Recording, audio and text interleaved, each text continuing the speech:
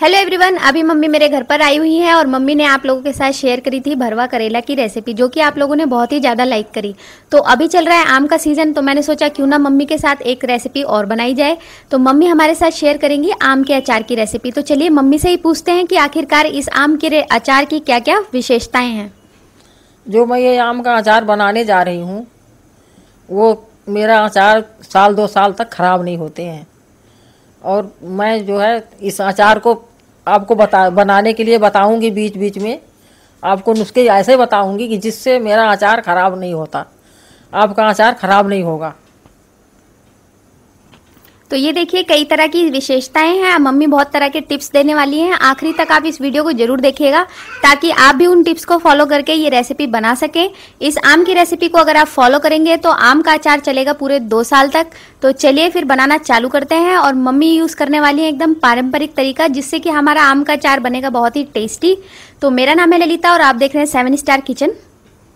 तो हम लोगों ने यहाँ पर तीन किलो आम ले लिए हैं। ये आम जो है, ये अचार वाले स्पेशल आम हैं जिसमें जाली पड़ जाती है, यानी कि जो थोड़े टाइट होते हैं, वो तरह के आम लिए हैं।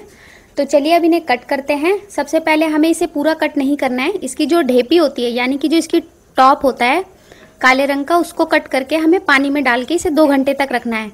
तो मम्मी सबसे पहले वही करने जा रही है।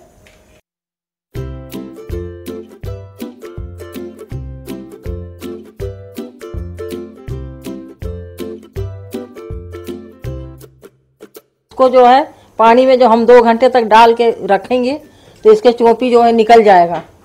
तो इससे जो है हमारा अचार कभी ख़राब नहीं होगा। तो ये आम सारे के सारी ढेपी कट कर ली है मम्मी ने और ये धोकर अच्छे से हमने पहले से ही लिए थे। तो इसे हम बस इस पानी में दो घंटे के लिए रखेंगे उसके बाद डायरेक्टली हमें इसे यूज़ कर लेना है। चलो अब ये मेरा आम जो मैंने इसमें काट के रखा था इसका ढेपी इसको दो घंटे हो गए हैं। अब इसको मैं पानी से निकालूँगी पानी से निकाल करके इसको कपड़े से पोंछ के सुखा के थोड़ा फिर इसको चार टुक, आठ टुकड़े काटूँगी। एक आम में आठ टुकड़े बनाऊँगी इसके। जिससे ज़्यादा बड़े बड़े आम के जो टुकड़े होते हैं वो सही नहीं रहते हैं। क्योंकि आधा खाते हैं आधा हम लोग फेंक देते हैं। इसलिए आठ टुकड़े अगर हम करते हैं तो उसमें सही रहता है खाने में भी।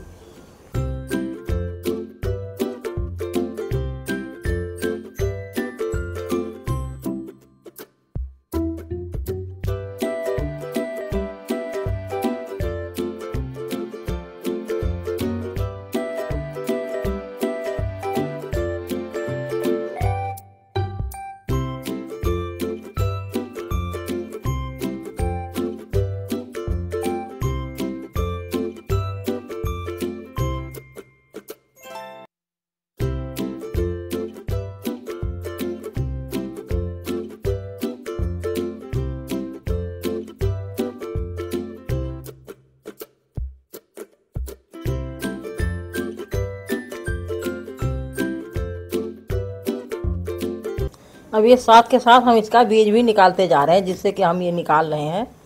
ऐसे आप भी इसको, बीज को निकाल करके अलग कर देना। इसमें अगर बीज रहेगा ना तो इसमें कड़ुआपन आ जाता है अच्छा नहीं लगता ये। इसलिए इस बीज को निकाल करके रखना अलग। अब ये देखिए, ये ये आम जो है ना, ये थोड़ा सा पीला पीला सा हो गया है।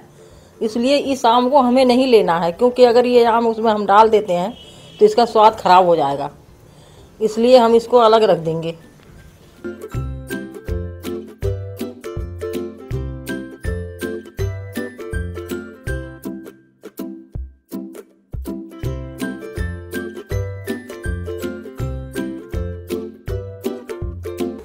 अब हमने ये सारे आम काट लिए हैं। अब इसमें हम दो चम्मच नमक डाल देते हैं। स्वाद अनुसार दो चम्मच नमक। डाल दिया।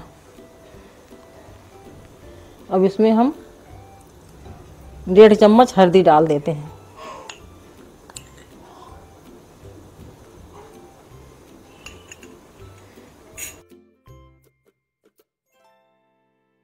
अब हम इसको अच्छी तरह से मिला लेते हैं।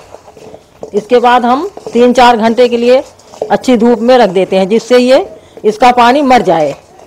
ये 200 ग्राम हमने सौंप ले लिया है। और 50 ग्राम पीली सरसों।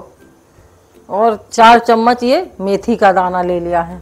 अभी हम तीनों को भूनेंगे। अब हम इसको भूनने जा रहे हैं। अब हम इसको थोड़ी देर हाई फ्लेम पे भूनेंगे। इसके बाद जब ये थोड़ा गर्म हो जाएगा तो इसको मीडियम पे कर देंगे। और इसको भूनने में एक से दो मिनट तक लग जाएँगे। जब इसमें अच्छी तरह से खुशबू आने लग जाएगी, तब आपको पता चल जाएगा कि ये मेरी सौंफ तैयार हो गई। अब इसको हम भूनते समय लगातार चलाते रहेंगे। अगर नहीं चलाएँगे तो नीचे जलने लग जाएगा। इसलिए हम इसको लगातार चलाते रहेंगे। अब ये देखो, अब ये भून के तैयार हो गया है। अब इसको हम कढ़ाई से निकाल लेंगे।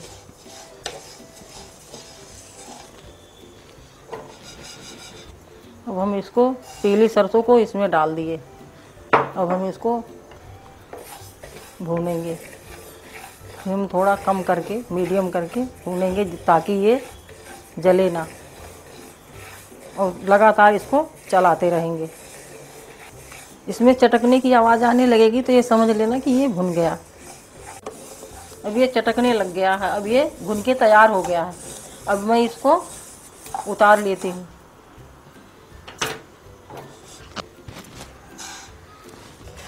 ये जो मेथी के दाने हमने चार चम्मच लिए थे, अब इसको हम भून रहे हैं। अभी ये एक मिनट में जब थोड़ा ब्राउन हो जाएगा, हम इसको उतार लेंगे। भून गया ये। अब हम इसको उतार लेते हैं।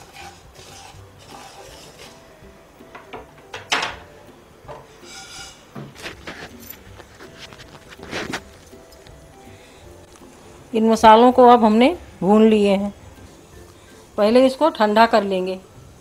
ठंडा करने के बाद इसको पीस लेंगे मिक्सी में। इसको ज़्यादा बारीक नहीं करना है, जिससे ये मसाला अगर ज़्यादा बारीक हो जाता है तो उसमें जम जाता है, इसलिए इसको थोड़ा दरदरा पीसते हैं। अब ये आम हमने इसमें नमक और हल्दी लगा करके दो घंटे रख दिए थे इसको। रखने के बाद हमने इसको निकाल के ऊपर धूप में सुखाया। धूप में सुखाते समय इसमें जो नीचे पानी निकला हुआ था, वो हमने फेंक दिया। इसको हमने फिर छत पे दो घंटे सुखाए। मसाले हमारे ठंडे हो गए हैं। अब एक चम्मच ये कलौजी भी हम उसी में पीस के डाल देंगे। अब ये मसाले हमने इसमें जो पीसे थे, ये रख लिए हैं। अब इसमें हम दो चम्मच हल्दी डाल देते हैं। इसमें दो चम्मच कश्मीरी लाल मिर्च डाल देते हैं। और एक चम्मच हींग डाल देते हैं। अब इसमें हमने ये चार चम्मच नमक डाल ले लिए हैं। अगर आपको स्वाद अनुसार और डालना हो तो ले लेना। अब एक कप हमने इसमें तेल डाला है। जो कि तेल हमने पहले इसको गरम किया है। गरम करके जब अच्छी तरह से गरम हो गया तो हमने इसको ठंडा किया है। ठंडा करके फिर हमने इसको अब इसमें मिला रहे हैं। मसाले में मिक्स कर देंगे सारा। सारे मसाले में तेल मिक्स कर देंगे। मसाले और तेल को अच्छी तरह से मिक्स कर लेंगे।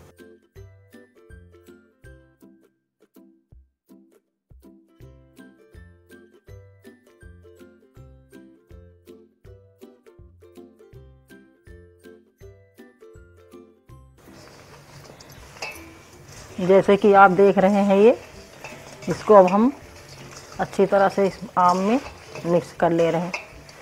इसी तरह से मिक्स कर लेना है।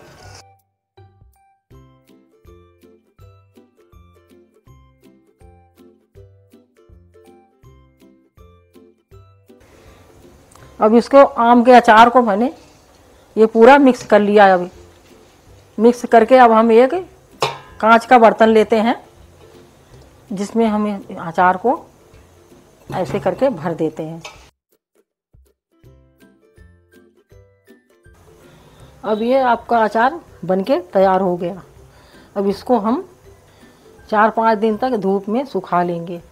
और इसमें एक पाव तेल, ढाई सौ ग्राम तेल और इसको एक कढ़ाई में गरम करके और उसको ठंडा करके।